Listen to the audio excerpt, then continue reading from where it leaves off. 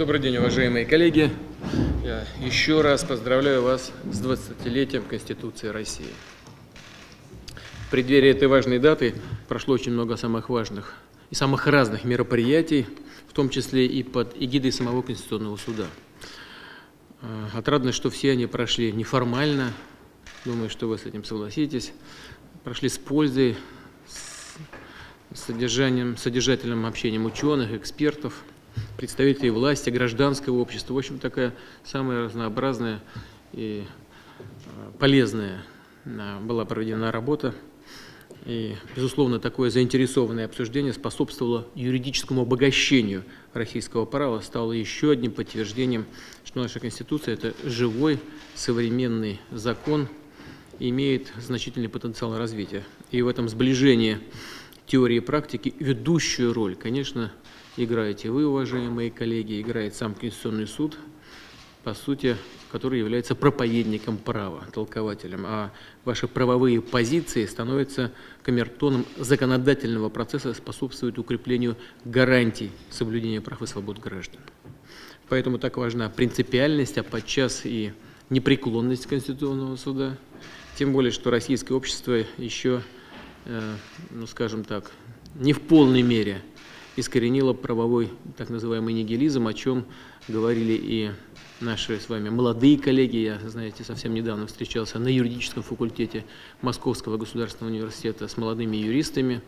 Ну вот, э, надо сказать, что даже они обращают на эту проблему внимание.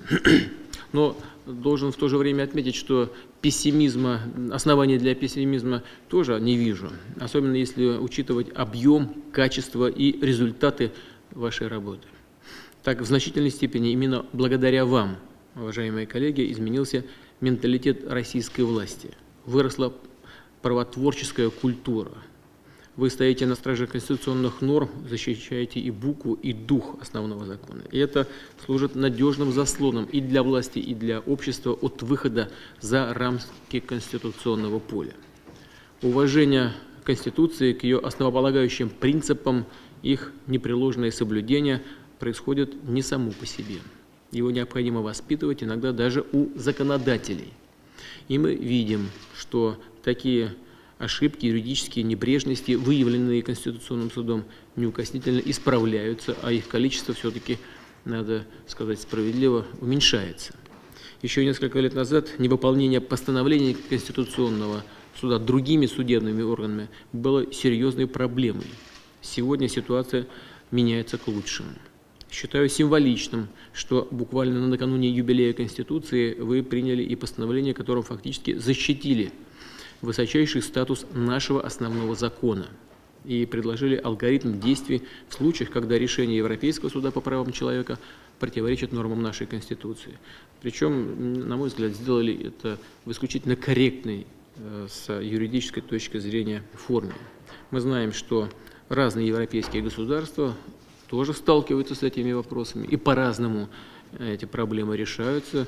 В некоторых странах, прямо скажем, достаточно кардинально, в пользу, естественно, своего основного закона. На мой взгляд, Российский Конституционный суд выбрал наиболее оптимальные решения – и очень корректный, как я уже сказал, с юридической точки зрения. Вы предложили именно корректный способ реализации решения Европейского суда, который не повлечет за собой искажение норм Российской Конституции.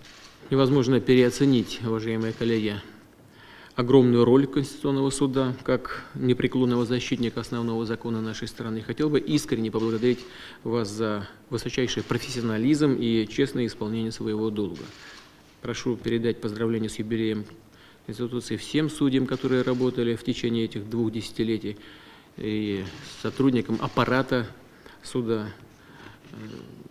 Я имею в виду тех людей, которых сегодня нет в этом зале, но которые или обеспечивают вашу работу, либо те, которые работали в свое время на ваших местах, сегодня они трудятся в других, э, может быть, структурах или находятся на пенсии, но все они сыграли очень важную, э, заметную и Э, существенную роль в становлении конституционного правосудия в Российской Федерации, в укреплении основного закона нашей страны.